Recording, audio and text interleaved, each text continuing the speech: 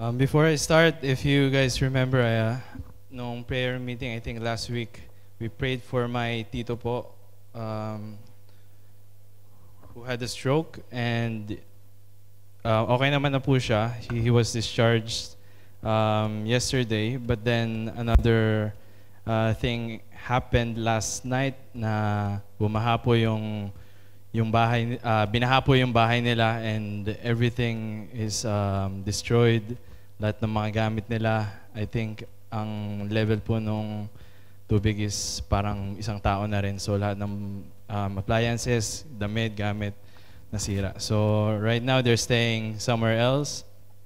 But uh, let's continue um, please pray with us po na yung first of all yung recovery niya and um, comfort sa family and uh, so that they can um, get out of this situation. Uh, yun lang po. And then, um, tayo po tayong lahat. Please stand up with me.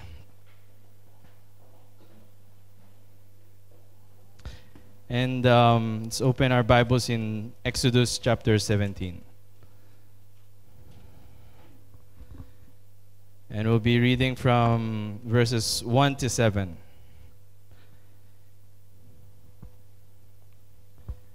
May, may I request everyone to please um, read verses 1 to 7 together with me? 1 to begin. And all the congregation of children of Israel journeyed from the wilderness of Sin. After their journeys, according to the commandment of the Lord, and pitched in Rephidim, there was no water for the people to drink. Wherefore the people did chide with Moses and said, Give us water that we may drink.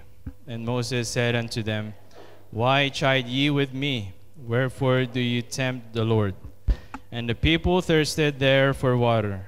And the people murmured against Moses and said, Wherefore is this that thou hast brought us up out of Egypt, to kill us and our children and our cattle with thirst? And Moses cried unto the Lord, saying, What shall I do unto this people? They be almost ready to stone me. And the Lord said unto Moses, Go on before the people, and take with thee of the elders of Israel, and thy rod wherewith thou smotest the river. Take in thine hand and go. Behold, I will stand before thee there upon the rock in Horeb, and thou shalt smite the rock, and there shall come water out of it, that the people may drink.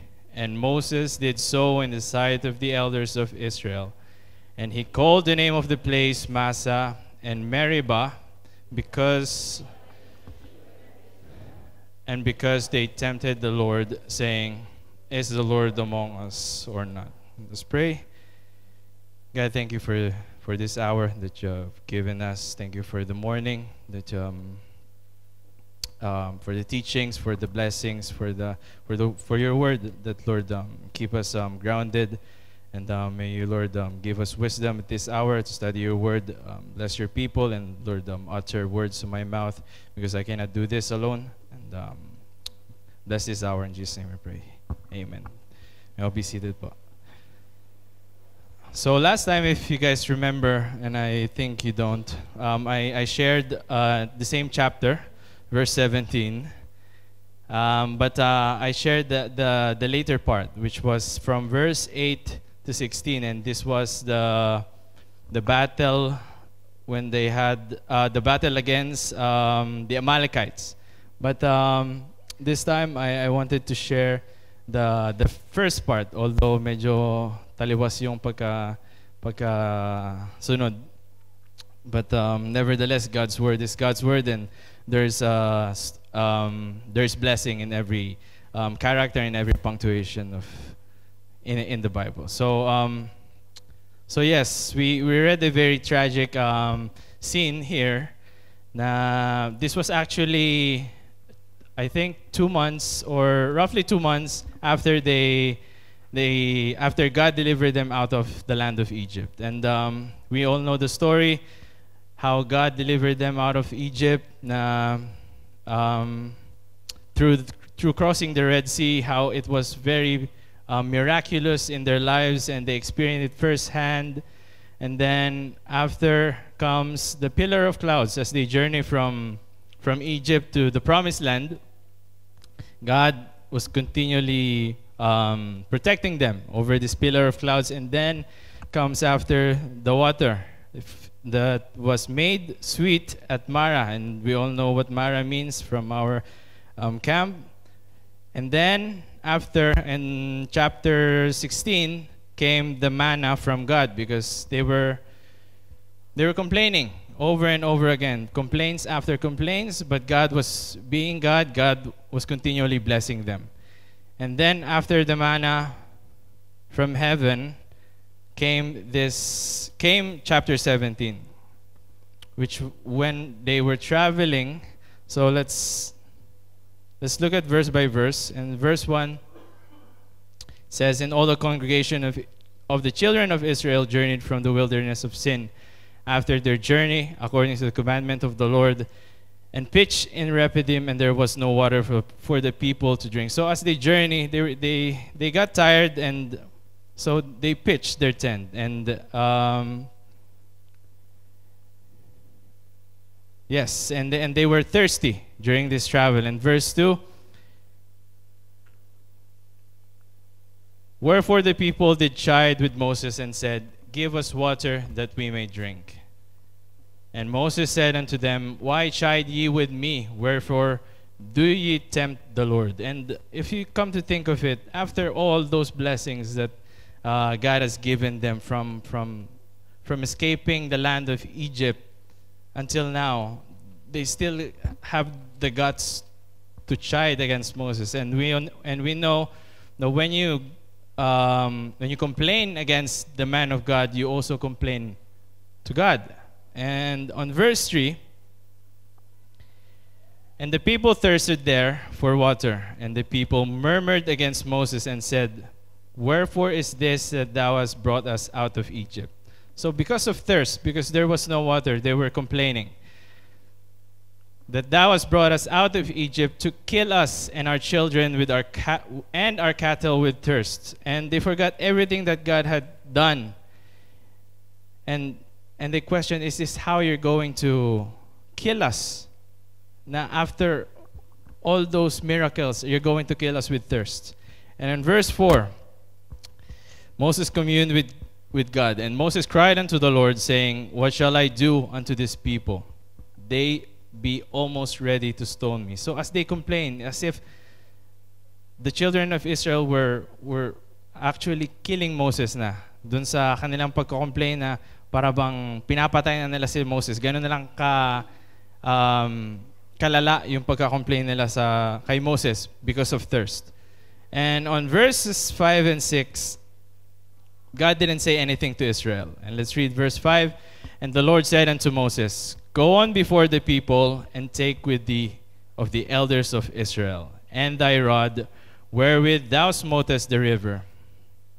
Take in thine hand and go. So God didn't say anything about Israel. And verse 6 Behold, I will stand before thee there upon the rock in Horeb, and thou shalt smite the rock, and there shall come out, there shall come water out of it, that the people may drink.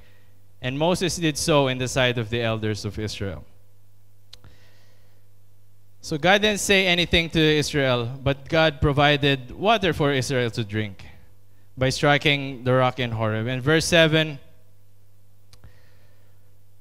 Moses named the place um, according to what happened. And he called the name of the place Massah and Meribah. Massah meaning quarrel, and Meribah meaning testing, because of the chiding of the children of Israel, and because they tempted the Lord, saying, Is the Lord among us or not? So here we can see how ungrateful and how unpleasant the situation was for Moses.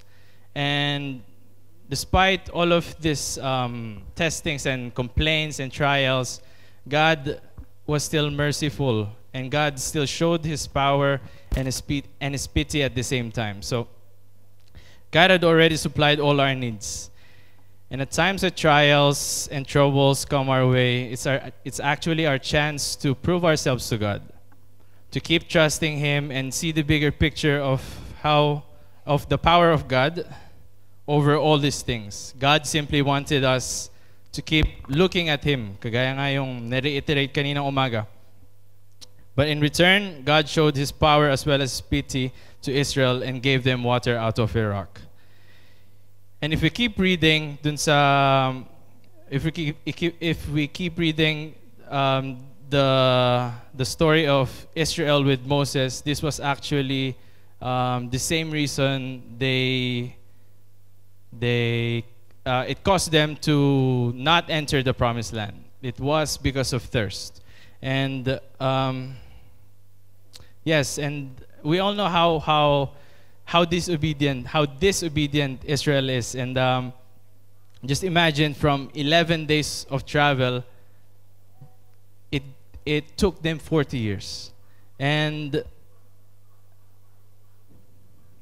God's looking at us in every step that we take in our lives. And I hope when we are faced with troubles, we go on our knees and ask God for guidance to submit to His Word so we don't see these trials as hindrance because God can give us fountain where we least expect it. Let all our trials direct us to depend on the grace of God.